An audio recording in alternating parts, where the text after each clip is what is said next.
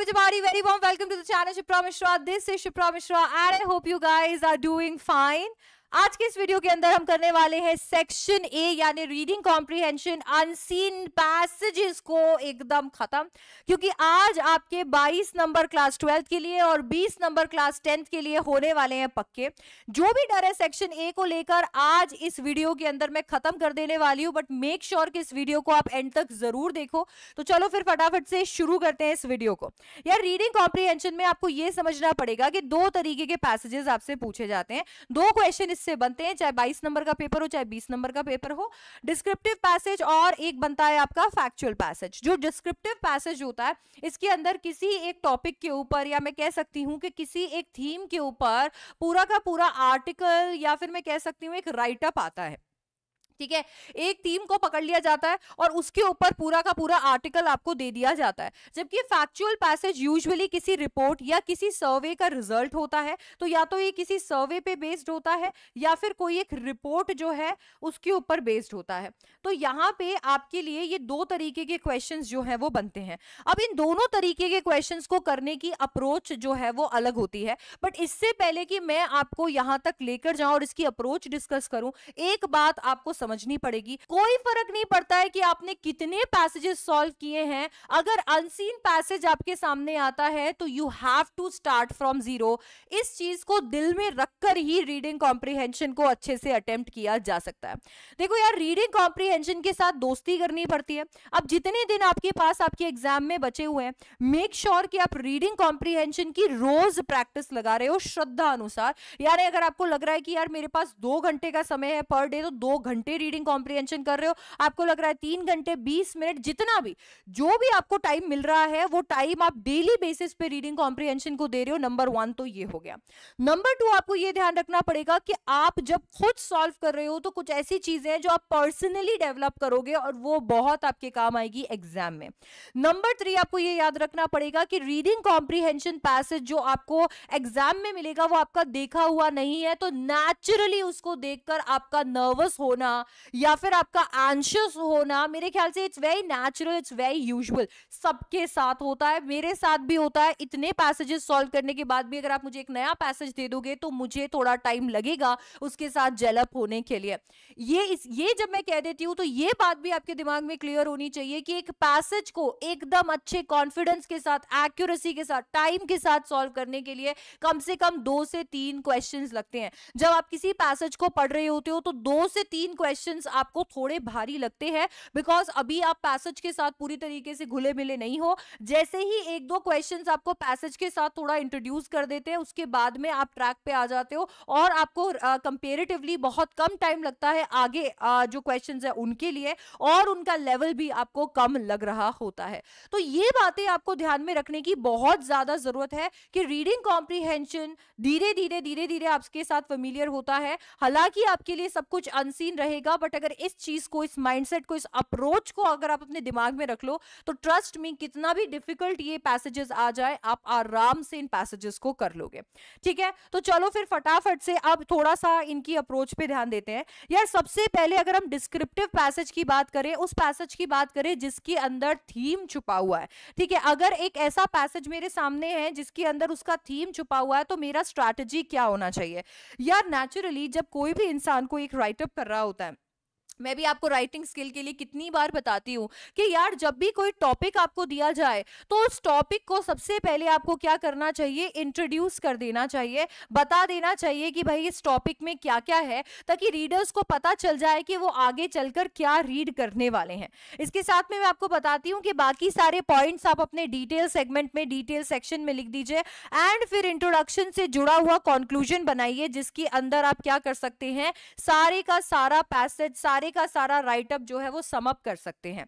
तो यही चीज़ जो है, जो आपको मैं फॉलो करने के लिए कहती हूँ, यही चीज़ आपको नहीं लगता कि कहीं हो सकता है वो राइटर्स जो कि थीम बेस्ड राइटअप कर रहे हैं, वो भी फॉलो करते होंगे। जी हाँ वो भी यही चीज़ फॉलो करते हैं और इसीलिए डिस्क्रिप्टिव पैसेज को करने का सबसे अच्छा तरीका होता है इंट्रोडक्शन वाला पैराग्राफ यानी के पैरा वन और कंक्लूजन वाला पैराग्राफ यानी के आपका लास्ट वाला पैरा। जो लास्ट वाला पैरा है, उसको। तो फ़र्स्ट पैरा और लास्ट पैरा जो है, इसको रीड कर लेना है। तो आपने सबसे पहले ये पैरा रीड करना है। बीच का सब स्किप करके सीधा इस पैराग्राफ पे आ जाना है और आपको आइडिया लग जाएगा कि ये पैसेज किस बारे में है। यहाँ से आपका थीम जो है, वो एकदम कंफर्म हो जाएगा। ठीक है? इंट्रोडक्शन से पता चल जाएगा कि यार कौन से टॉपिक पे लिखा होगा इसने और कंक्लूजन से पता चल जाएगा कि अंदर और क्या क्या चीज़ें मेंशन की गई होंगी। डिस्क्रिप्टिव पैसेज में आने वाले क्वेश्चन ज़्यादातर फ़र्स्ट और लास्ट पैराग्राफ से बनते हैं तो इन दोनों पैराग्राफ्स को रीड करते ही मैक्सिमम क्वेश्चंस आपके सॉल्व हो जाएँगे। मैं आपको एक एग्जांपल भी देती हूँ। ठीक है, यहाँ पे आप देखेंगे एक बार बोर्ड पे मेरे पास में है एक डिस्क्रिप्टिव पैसेज ये डिस्क्रिप्टिव पैसेज में आपको यहाँ पर फ़र्स्ट वाला पैराग्राफ देखने को मिल रहा है और आपको यहाँ पर देखने को मिल रहा है आपका लास्ट वाला पैराग्राफ जो कि ये रहा। अगर आप कुछ सेकंड्स लेकर ये फ़र्स्ट वाले पैराग्राफ को और लास्ट वाले पैराग्राफ को रीड करेंगे तो आपको आइडिया लग जाएगा कि ये पैसेज किस बारे में होगा। Please take a few seconds and read the first paragraph alright first paragraph को पढ़कर हमें समझ में आ गया है कि हमारे ऑथर जो है वो हमें बताना चाहते हैं कि अलग अलग फॉर्म की कॉफ़ी एग्जिस्ट कर सकती है। जिस इंस्टेंट कॉफ़ी को हम कॉफ़ी समझ रहे हैं, वो कॉफ़ी नहीं है। उसके अंदर उसकी ऑथेंटिसिटी लैक करती है और वो इस डिफरेंस को हमें आगे समझाने वाले हैं। लास्ट पैरा हमारे लिए ये क्लियर कर देगा कि क्या वो ये डिफरेंस बाकी सारे पैराग्राफ्स में हमें समझा पाए या नहीं। Please take a read all right so first paragraph में हमने देखा कि किस तरीके से वो हमें समझाना चाहते हैं कि ऑथेंटिक कॉफ़ी जो होती है, वो क्या होती है और इंस्टेंट कॉफ़ी जो हम कंज्यूम करते हैं, वो ऑथेंटिक है भी या नहीं? वो हमें डिफरेंसेस समझाने वाले थे बाकी सारे पैराग्राफ्स में, जबकि लास्ट पैराग्राफ जो हम देख रहे हैं, वो कहीं ना कहीं कॉफ़ी के एक्सट्रैक्शन के बारे में बात कर रहा है। इसीलिए मैंने आपको बोला कि ये दोनों पैराग्राफ्स रीड करना ज़रूरी है। इन दोनों पैराग्राफ्स को रीड करके हम समझ गए हैं कि ज़रूर इस पैराग्राफ पैराग्राफ के अंदर, इस पूरे पैसेज के अंदर कॉफ़ी के बारे में बात की है ऑथेंटिक टेस्ट के बारे में बात की है और वो कैसे प्रोड्यूस होता है उसके बारे में बात की है। दैट मीन्स इन दोनों पैराग्राफ को समझ के हम लोग हमारे पैसेज का थीम एकदम दिमाग में क्लियर कर चुके हैं। आप देखेंगे कि जो आने वाले क्वेश्चन है, वो क्वेश्चन कहीं ना कहीं इन्हीं सारे इन्हीं सारे पैराग्राफ से जुड़े हुए हैं। डायरेक्ट क्वेश्चन भी यहाँ से आए हुए हैं और कुछ क्वेश्चन तो बार बार यही पे इन दो पैराग्राफ से रिपीट हो रहे हैं। ऐसे क्वेश्चंस जो कि इन पैराग्राफ से रिपीट नहीं हो रहे हैं, उन क्वेश्चंस के लिए आपको एक रेफरेंस भी दिया हुआ है। जैसे कि ये वाला क्वेश्चन कहता है कि पैराग्राफ थ्री में जाकर मुझे इस वर्ड का मतलब बताओ या सिमिलर मीनिंग बताओ। तो ऐसे क्वेश्चन जो वोकैबलरी बेस्ड है, उनको अगर छोड़ दिया जाए कॉन्टेक्चुअल क्वेश्चन को छोड़ दिया जाए तो एक एक क्वेश्चन जो है वो आपको फ़र्स्ट और लास्ट पैराग्राफ से देखने को मिल जाएगा। समहाउ आप अपने सारे आंसर्स वहाँ से निकाल सकते हैं।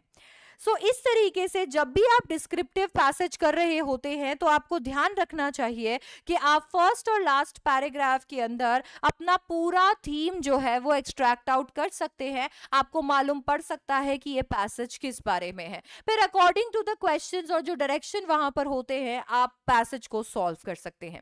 सो so, ये आपकी करेक्ट अप्रोच होती है एक डिस्क्रिप्टिव पैसेज को करने की।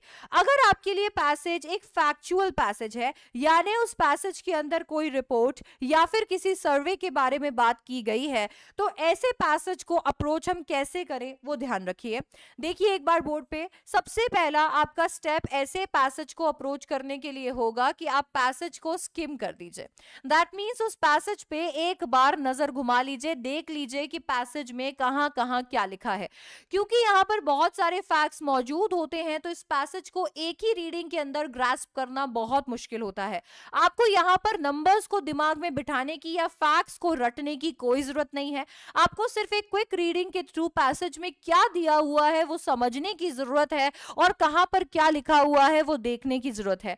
इस पैसेज में से आने वाले क्वेश्चंस काफ़ी डायरेक्ट होते हैं क्योंकि पैसेज ही इतना टेढ़ा होता है कि अगर क्वेश्चन भी टेढ़े कर दिए तो ये इम्पॉसिबल टू सॉल्व हो जाएगा।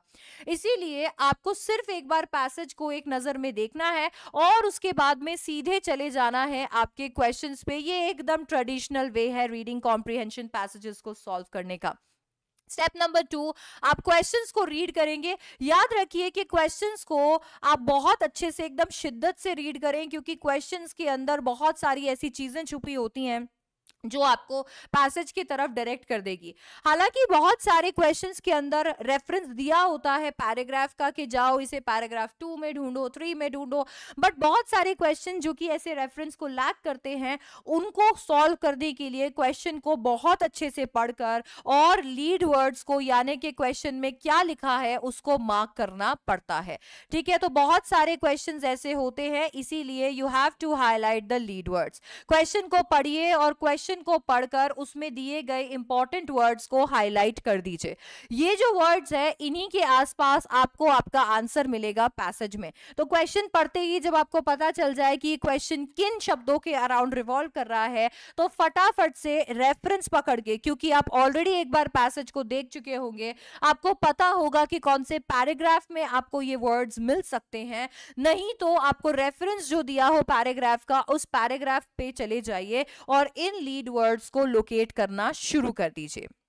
So you have to locate the lead words in lead words को पैराग्राफ में जैसे ही आप लोकेट कर देंगे, जहाँ पर भी आपको ये लीड वर्ड्स मिल जाएँगे, उसी के आसपास आपका आंसर मौजूद होगा। अगर ये एक एमसीक्यू क्वेश्चन है तो आप एलिमिनेट कर सकते हैं सारे रॉन्ग ऑप्शंस को और सही ऑप्शन आपके सामने होगा। अगर ये एक सब्जेक्टिव क्वेश्चन है तो उसके आसपास दिए गई इंफॉर्मेशन को अपने वर्ड्स के अंदर आपको लिखना होगा और और वर्ड लिमिट को अडियर करना होगा। सो so, ये एक बेसिक अप्रोच आपके लिए रहेगी आपके फैक्चुअल क्वेश्चंस के लिए। चलिए एक एग्जांपल लेते हैं एक फैक्चुअल क्वेश्चन से जो कि आपके सैंपल पेपर में पूछा गया है। क्वेश्चन नंबर फाइव यहाँ देखिए which of the following is an example of an opportunity for self discovery as mention in paragraph two मुझे पैराग्राफ टू में लीड वर्ड ढूंढना है और लीड वर्ड या लीड फ्रेज मेरा है, क्या चीज़ an opportunity for self discovery तो मैं फटाफट से पैराग्राफ टू में जाऊँगी और अपॉर्चुनिटी फॉर सेल्फ डिस्कवरी देखूँगी। मैं इसे रीड कर लूँगी या फिर मुझे जहाँ पर भी देखने को मिले ये सेल्फ डिस्कवरी या अपॉर्चुनिटी मैं वहीं पे अपना आंसर खोजने की कोशिश करूँगी। अब जब हम लोग ये चीज़ यहाँ पर पढ़ लेते हैं तो हमेशा याद रखना कि यहाँ से मुझे मेरे जो क्वेश्चन है उसका रेफरेंस मिल जाता है। बट जब भी अगर ये क्वेश्चन एक एम एमसीक्यू हो। ठीक है, अगर ये क्वेश्चन एक एमसीक्यू हो तो मेरे लिए सिर्फ़ ये लीड वर्ड्स काफ़ी नहीं होते मुझे हमेशा मेरे जो ऑप्शन है, उन्हें भी देखना चाहिए। जैसे trying a new cuisine hiring a tour guide purchasing a local artifact या एडवांस बुकिंग ट्रैवल टिकट्स अब मेरे पास में ये चार लीड वर्ड्स भी हैं। मैं कोशिश करूँगी कि मेरे पैसेज के अंदर मुझे इनके अराउंड कुछ मिल जाए, ताकि इसे मैं समझ सकूँ कि क्या ये एक ऐसी अपॉर्चुनिटी हो सकती है, जो मुझे कहीं ना कहीं एक सेल्फ डिस्कवरी के रोड पर लेकर जाए। अब यहाँ पे मुझे पता चल रहा है कि interestingly both groups had similar levels of interest in exploring new cultures trying new experiences solo travellers तो खास करके। तो मैं समझ गई हूँ कि यहाँ पर ये जो अपॉर्चुनिटी है, इसके अंदर न्यू एक्सपीरियंसेस और नए कल्चर के लिए तो नेचुरली एक चेक हो रखा है। तो यहाँ पे trying new cuisine hiring a tour guide purchasing local artifact और एडवांस बुकिंग ट्रैवल टिकट्स में से ट्राइंग न्यू कुजीन ज़्यादा बेटर है। क्योंकि इससे शायद मेरे को पता चल पाएगा कि मैं इस कल्चर के, इस फ़ूड को कितना पसंद करती हूँ। मैं इस टेस्ट को पसंद करती हूँ क्या? इसमें डले हुए स्पाइसेस को पसंद करती हूँ क्या? ये मुझे एक रोड पर लेकर जाएगा सेल्फ डिस्कवरी के। अब मैंने आपको जब दोनों ही क्वेश्चन की अप्रोच बता दी है तो जरा ये देख लेते हैं कि कैसे कैसे क्वेश्चन यहाँ से बनते हैं और उन्हें कैसे सॉल्व करना चाहिए। सबसे पहले तो यहाँ से जो एमसीक्यूज बनते हैं, वो किस तरीके के हैं वो देखिए। आपको पहला क्वेश्चन या पहले क्वेश्चन जो देखने को मिलेंगे वो अंडरस्टैंडिंग बेस्ड होते हैं। ऐसे एमसीक्यूज पूछे जाते हैं जिसमें ये चेक किया जाता है कि क्या पैसेज को आप सच में कॉम्प्रीहेंड कर पाए यानी समझ पाए या नहीं। ये अंडरस्टैंडिंग बेस्ड क्वेश्चन वाई से शुरू हो सकते हैं व्हाट से शुरू हो सकते हैं और जानने की कोशिश कर सकते हैं कि आपने राइटर को या फिर टॉपिक को अच्छे से समझा या नहीं। फिर आते हैं आपके एनालिसिस बेस्ड क्वेश्चन ऐसे क्वेश्चन जो कि आपको आप, मजबूर करते हैं किसी पार्ट ऑफ़ इंफॉर्मेशन को या फिर इंफॉर्मेशन को एनालाइज करने के लिए। कि क्यों ना आप इस इंफॉर्मेशन को एनालाइज करके बताइए कि ऑथर क्या कहना चाहते हैं, कोई कैरेक्टर है तो कैरेक्टर क्या कहना चाहता है? अगर कोई डेटा है तो इस डेटा का क्या मतलब है? फिर आते हैं आपके वोकेबलरी बेस्ड क्वेश्चन जिनमें सिमिलर मीनिंग या सब्सिट्यूशन वाले क्वेश्चंस बनते हैं। यानी यहाँ पर आपको एक वर्ड दे दिया जाता है पैराग्राफ का रेफरेंस दे दिया जाता है और बोला जाता है कि सिमिलर मीनिंग जो है, इस वर्ड का ढूंढ लो और चार ऑप्शन दे दिए जाते हैं। कभी कभी आपको ये सब्सिट्यूशन के फॉर्म में भी मिलते हैं, जिसमें एक लाइन दे दी जाती है और उसके अंदर एक वर्ड को सब्सिट्यूट करने के लिए कहा जाता है, किसी एक पैराग्राफ से या फिर आपकी मर्ज़ी से या फिर ऑफकोर्स ऑप्शन से हेडलाइन और टाइटल बेस्ड क्वेश्चंस आजकल बहुत ज़्यादा पॉपुलर है, जिसके अंदर आपको पैसेज को एक टाइटल या हेडलाइन देनी होती है। आपको यहाँ पर बहुत सारे ऑप्शंस दिए जाते हैं और ये कहा जाता है कि इनमें से कौन सी या कितनी हेडलाइंस जो है, वो पैराग्राफ की हो सकती है या इनमें से कौन सी और कितनी हेडलाइंस जो है, वो पैराग्राफ की नहीं हो सकती है। ये टाइटल और headline based question clearly theme based question हैं तो इसीलिए पैराग्राफ वन और पैराग्राफ लास्ट वाला जो होता है, उसे बहुत बहुत अच्छे से करना ज़रूरी होता है। आपको यहाँ पे डायरेक्ट क्वेश्चंस भी पूछे जाते हैं। ये डायरेक्ट क्वेश्चंस खास करके फैक्चुअल पैसेज में होते हैं, जहाँ आपको रेफरेंस दे दिया जाता है, कोई पैराग्राफ दे दिया जाता है paragraph one paragraph two paragraph three और वहाँ से कोई इंफॉर्मेशन एक्सट्रैक्ट करने के लिए बोली जाती है। कभी कभी अगर यहाँ पे कोई ग्राफ या पाई चार्ट मौजूद होता है तो वहाँ से भी इंफॉर्मेशन एक्सट्रैक्ट करने के लिए बोली जाती है। ठीक है, ये जो एमसीक्यूज होते हैं, इनको करने का सबसे अच्छा तरीका होता है कि सबसे पहले तो आप इनमें लीड वर्ड्स को फॉलो कीजिए। ये एमसीक्यूज कहाँ से बन रहे हैं, ये एमसीक्यू कहाँ से बन रहा है, वो देखिए। इसके बाद में कोशिश कीजिए कि जो ऑप्शन है, उन ऑप्शन को पहले रीड करें। क्वेश्चन पढ़ते जाते ही सीधे पैसेज में ना जाएँ। पहले ऑप्शन रीड करें और ऑप्शन रीड करके फिर पैसेज में उन ऑप्शंस में से जो भी लीड वर्ड्स आपने एक्सट्रैक्ट किए हैं, उन्हें ढूँढने की कोशिश करें। जब आपको पता चल जाए कि कौन कौन से ऑप्शंस के फेवर में ये पैसेज जा रहा है तो बाकी बचे हुए ऑप्शंस को एलिमिनेट करें और आपके पास में जो सबसे स्ट्रॉन्ग ऑप्शन पीछे रह जाएगा, जिसकी सपोर्ट में पैराग्राफ है, उसी को आप करेक्ट आंसर मार्क फिर करें। अगर वो कैबलरी बेस्ड क्वेश्चन क्वेश्चन है और आपको वर्ड का मीनिंग नहीं पता है तो सेंटेंस को अपनी भाषा के अंदर ट्रांसलेट करें और उस मीनिंग के आसपास का, उस वर्ड के आसपास का मीनिंग ड्रॉ करने की कोशिश करें आप बाकी सारे ऑप्शंस को एलिमिनेट करके करेक्ट आंसर निकाल पाएँगे all right right. Evidence based questions होते हैं जिनके अंदर आपको आपके पैसेज के वर्ड्स को या सेंटेंस को कोट करना होता है। ऐसे वाले क्वेश्चंस के लिए लीड वर्ड्स को फॉलो करके आप पैसेज में जाइए और वहाँ पर आपको जो एविडेंसेस यानी कुछ ऐसे प्रूफ्स मिलते हैं जो आपके क्वेश्चन को प्रूव कर रहे हो तो वो वाले कोटेशन उठाइए। ये यूजुअली सब्जेक्टिव क्वेश्चन होते हैं तो आपको उन प्रूफ्स को उठाकर कोट कर कर लिखना होता है। कंप्लीट द फॉलोइंग क्वेश्चंस को दो तरीके से किया जाता है। कोशिश कीजिए कि हमेशा जो भी आप आंसर बनाए, वो ग्रामेटिकली और कॉन्टेक्चुअली वहाँ पर फिट हो जाए। अगर यहाँ पर आप ऐसा कोई वर्ड से इसे कंप्लीट कर रहे हैं, जो या तो सेंटेंस के ग्रामर को हिला रहा है या कॉन्टेक्स्ट को तो वो गलत होगा। याद रखिए कि अगर एक वर्ड से फिल करने के लिए बोला है तो एक ही वर्ड से फिल करना है। और अगर कोई वर्ड लिमिट नहीं है तो हमेशा 40 वर्ड्स की वर्ड लिमिट होती है। कंप्लीट द फॉलोइंग सेंटेंस को कंप्लीट करने के बाद एक बार ज़रूर रीड करें, ताकि ये दोनों बॉक्सेस को आप चेक कर सकें। एक्सप्लेन द फॉलोइंग सेंटेंस वाला जो होता है या फिर कोई स्टेटमेंट वाला जो क्वेश्चन होता है, इसमें 40 वर्ड्स में आंसर करना होता है। ऑलरेडी आपको कोई कॉन्टेक्स्ट दे दिया जाता है या तो पैराग्राफ से या फिर क्वेश्चन के अंदर ही। ज़्यादा घबराने की ज़रूरत नहीं है, जो लाइन आपको दी गई है या फिर जो पैराग्राफ का रेफरेंस दिया हुआ है आपको बस 40 वर्ड्स में उसको समझा देना है। सिंप्लीफाई कर देना है, जो भी लिखा है उसे अपने शब्दों के अंदर 40 वर्ड्स में डालकर और लिख देना है। ज़्यादा इसमें दिमाग लगाने की ज़रूरत नहीं होगी। कॉन्टेक्स्ट या स्टेटमेंट बेस्ड क्वेश्चंस ऐसे क्वेश्चंस होते हैं जिसमें पैराग्राफ से कुछ लाइनें उठाकर दे दी जाती है।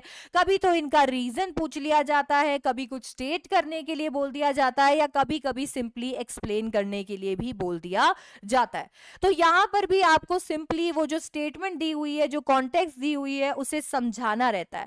याद रखिए यहाँ पे कॉमेंट जस्टिफाई ऐसे वर्ड्स का ख्याल ज़रूर रखना चाहिए क्योंकि ये आपके आंसर को लार्जली इंपैक्ट करते हैं।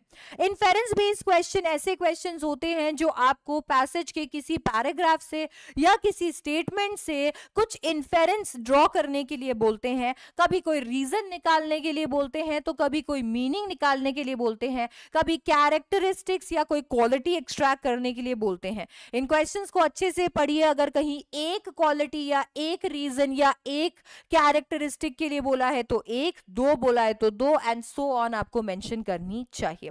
रेफरेंस रेफरेंस बेस्ड क्वेश्चंस बहुत ही आसान क्वेश्चंस होते हैं, क्योंकि यहाँ पर पैराग्राफ गिवन होता है। आपको बताया जाता है कि भाई ये पैराग्राफ है और इस पैराग्राफ को देखकर कोई कोई भी चीज़ आपको कह दी जा सकती है। इस पैराग्राफ को देखकर कुछ फिल कर दीजिए पैराग्राफ को देखकर रीराइट कर दीजिए सब्सिट्यूट कर दीजिए। ऐसे वाले क्वेश्चन आपको यहाँ देखने को मिलेंगे। इनमें भी आपको वोकेबलरी देखने को मिल सकती है। फिर आते हैं आपके ट्रू एंड फॉल्स जिसके अंदर आपको कुछ तो इंफॉर्मेशन आपके एक्सट्रैक्ट से, आपके पैसेज से दी जाती है और आपको कहा जाता है कि इसे जज कर कर बताइए कि क्या ये सही है या फिर ये गलत है। ये ट्रू एंड फॉल्स वाला आंसर आपको एक ही वर्ड में देना होता है। ट्रू एंड फॉल्स के अंदर हमेशा जो नेगेटिव वर्ड्स होते हैं, उनका ख्याल रखना चाहिए। चाहे नॉट लिखा हो एक्सेप्ट लिखा हो, उसका ख्याल रखना चाहिए। नहीं तो ये वाले क्वेश्चन का आंसर आंसर जो है वो उल्टा पड़ सकता है। और अगर आपको ये वीडियो अच्छा लगा हो तो प्लीज़ इसे लाइक कीजिएगा अपने फ्रेंड्स के साथ शेयर कीजिएगा और सब्सक्राइब कर लीजिएगा और ऐसे ही वीडियोस के लिए। अगर आपको इसमें से लेकर कोई भी डाउट आ रहा है रीडिंग कॉम्प्रीहेंशन के आ, किसी भी क्वेश्चन में किसी पार्ट में डाउट आ रहा है तो नीचे मुझे कमेंट करके ज़रूर बताइए। आई मेक श्योर कि मैं उस पर एक वीडियो ज़रूर लेकर आऊँ। I see you in the next one thank you so much for watching bye take care I love you